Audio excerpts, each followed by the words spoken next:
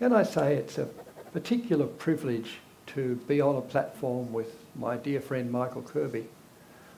Michael and I have known one another for 40 years or more, and he went out of his way to help me as a young labour relations academic. And indeed, when we came to Sydney, Michael introduced Mary and I to St James King Street mm-hmm. As a church to explore, and we had a great time there.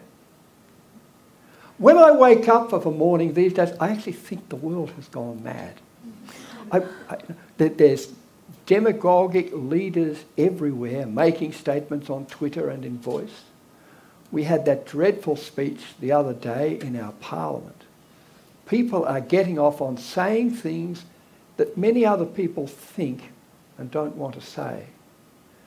I'm a believer in the Enlightenment of the 18th century, of truth, of reason. I have a great respect for John Stuart Mill and his liberty and for human rights. They're very simple ideas that we treat everybody equally. Uh, persons who are gay, persons who are disabled, persons who are of a different religion, different race. That we have a proper multicultural society. But what the last three years has taught me is that if we stand still, we will lose them. That we even cannot take these simple precepts as, as, as given that we must be vigilant all the time to protect our human rights and of all our sisters and brothers in this community and around the world.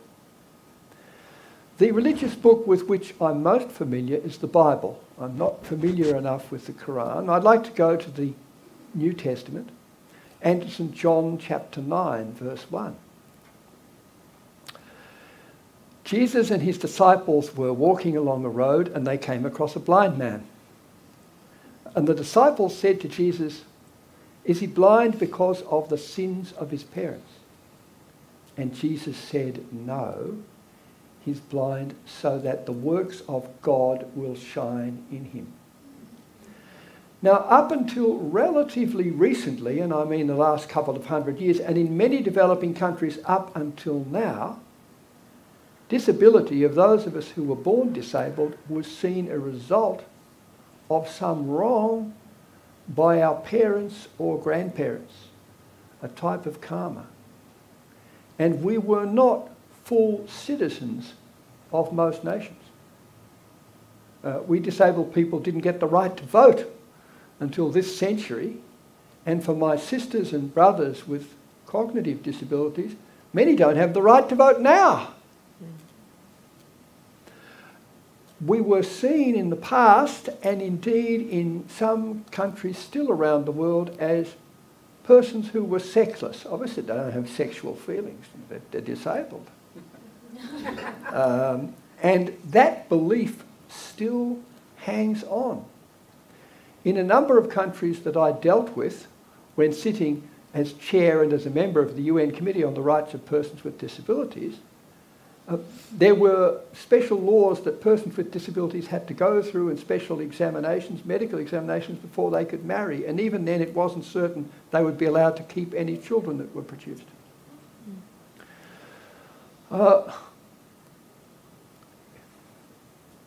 in Australia, we still have the practice, sanctioned by law, of carrying out non therapeutic sterilizations on children and adults, usually women, but some men, with cognitive disabilities. I have no difficulty where a sterilisation operation is necessary to save life. One might say forms of hysterectomies.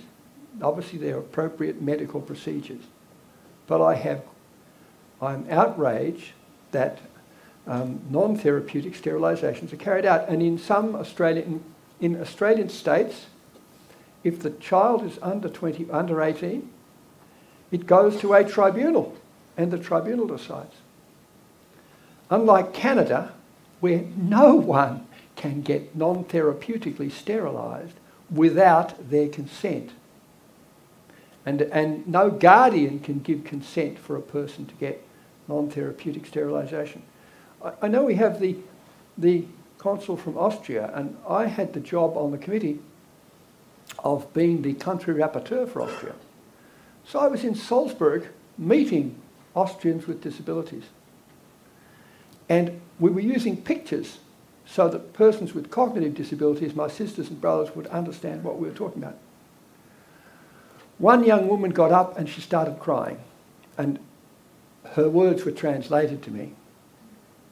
She was told she was going in for an operation. She went in for an operation and she came out and she wasn't told until afterwards that she'd been sterilised. She wasn't asked. Now, I think it's important with all groups, LGBTIQ, straight people, persons with disabilities, that we teach people about relationships and sexuality. I mean, uh, without being improper, some people say to me that, that they, it, it's easier to sterilise their child with cognitive disabilities, female child, because it, it solves menstruation problems. I mean, we need to teach persons, particularly with cognitive disabilities, and all of us about relationships, the beauty of relationships, the nature of equality. Um, I think one of the best policies for disabled people, particularly with cognitive disabilities, is run by the New South Wales um, body Northcott.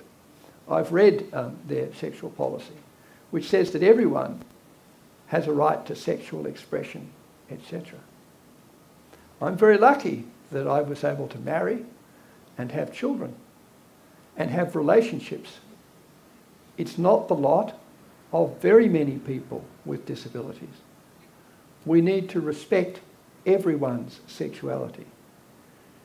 My sexuality, my sisters and brothers with cognitive disabilities, those with ambulatory disabilities, every race, LGBTQI. We should all be seen for the fullness and richness of our humanness.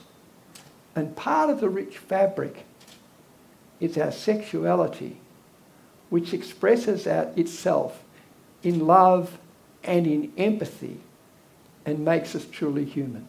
Thank you. Mm.